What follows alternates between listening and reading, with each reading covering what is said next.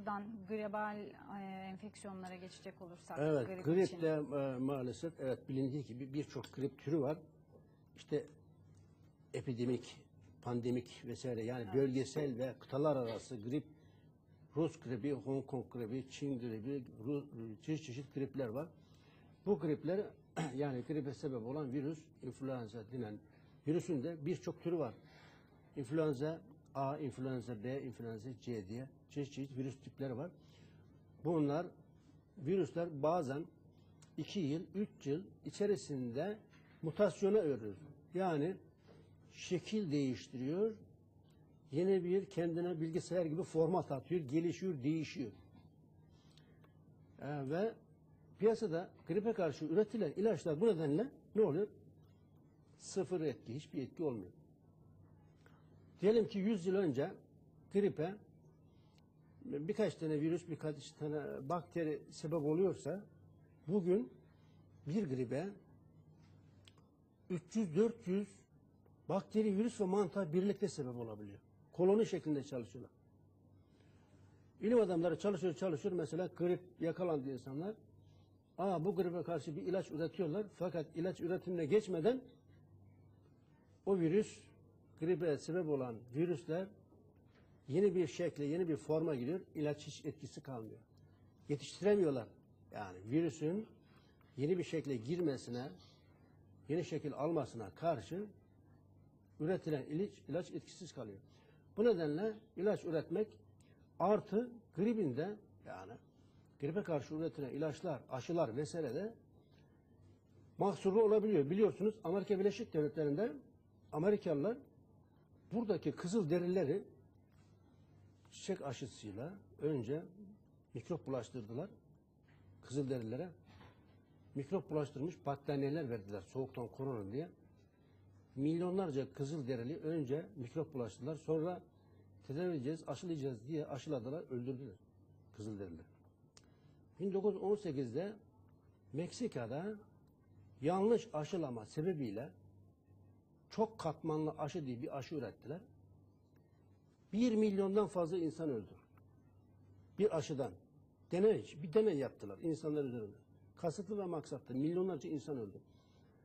1980 aa, 1996 yılında da Almanya'da birçok hastalığa karşı sadece bir aşıyla tedavi yöntemi geliştirdiler. Çok katmanlı aşı diye. Bir aşıyla birçok bulaşıcı hastalığı yeneceğiz dediler. Bir deney yaptılar. Altı tane çocuk ölünce hemen bıraktılar.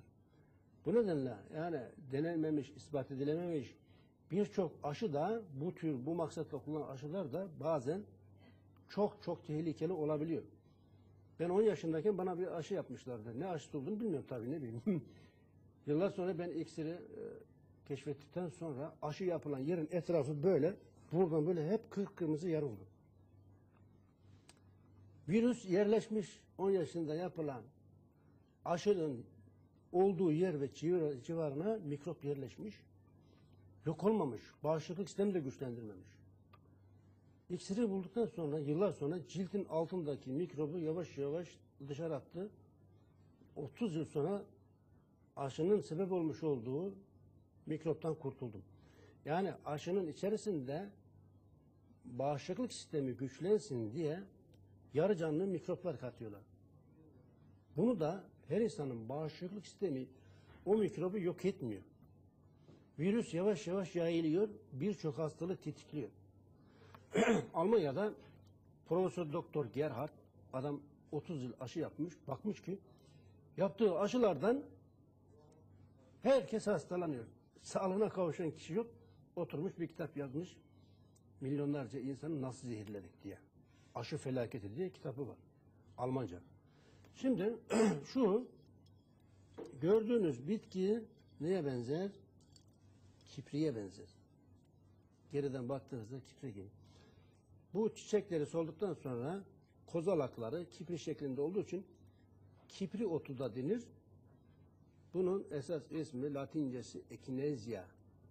Ekinezya purpurea. Ekinezya ile ilgili birçok klinik araştırması yapılmış. Mesela bunlardan birkaç örnek vereyim. Efendim, bin doktorun gözetiminde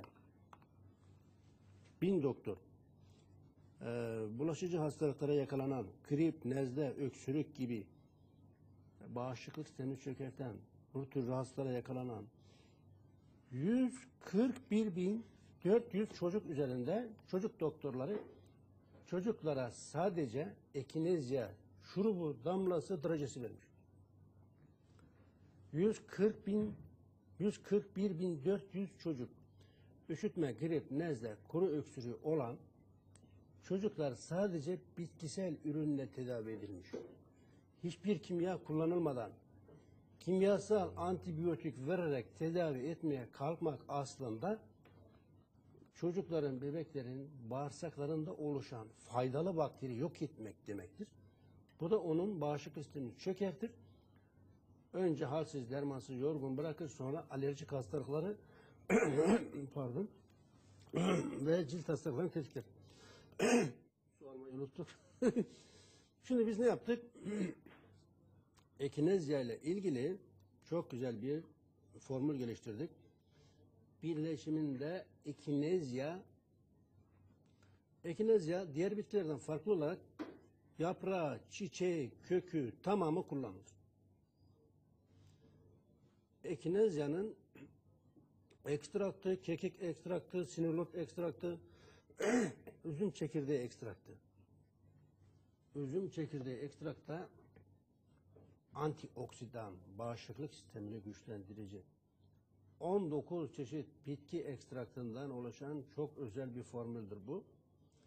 Üşütme, grip, nezle gibi rahatsızlıkları kısa sürede iyileştirir. Artı hiçbir yan etkisi yok. Tamamen doğal, yüzde yüz doğal. Bunu e, Kızılderililer 4000 yıldır zaten bilmişler ve kullanmışlar Amerika'da. Tabii Amerikalılar Kızılderilileri yok etmeden önce.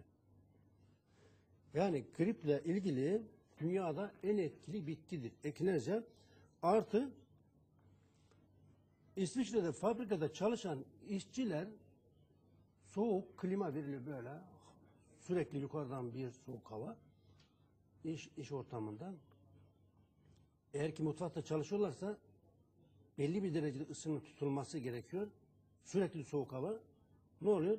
Omuzu, boynu tutuluyor. Faranjit, bronşit, orta kulak iltihaplanması vesaire vesaire birçok hastalığa yakalanıyor. Çalıştı yani bu tür iş yerinde çalışanların hemen hemen hepsi hasta. Sürekli soğuk hava, klima orada bir derece var. İşte 16 dereceye geçmeyecek. Yaz, kış fark etmiyor. Vatandaş alttan ne giyiyor? Kazak giyiyor, üstüne gömlek giyiyor, üstüne ceket giyiyor, üstüne başka üst üste üst üste giyiyor. Ne oluyor? İçeriden bir terleme, dışarıdan bir soğuk hava ne oldu? Buz gibi oluyor aniden. Veya dışarı çıktı, içeri girdi, oraya çıktı. Üşütüyor, omuzu tutuluyor, boynu tutuluyor. Üç kuruş para kazanacağım derken Almanya'da yaşayanların yüzde doksanı hasta. İnşallah dönerler memleketimize, cennet memleketi de buranın havasından, suyundan, güneşinden onlar da istifade eder. Biz Almanya felaketinden kurtulduk. Herkese kurtulmak nasip olsun. Tabii hiçbir yer vatan toprağı gibi olmuyor.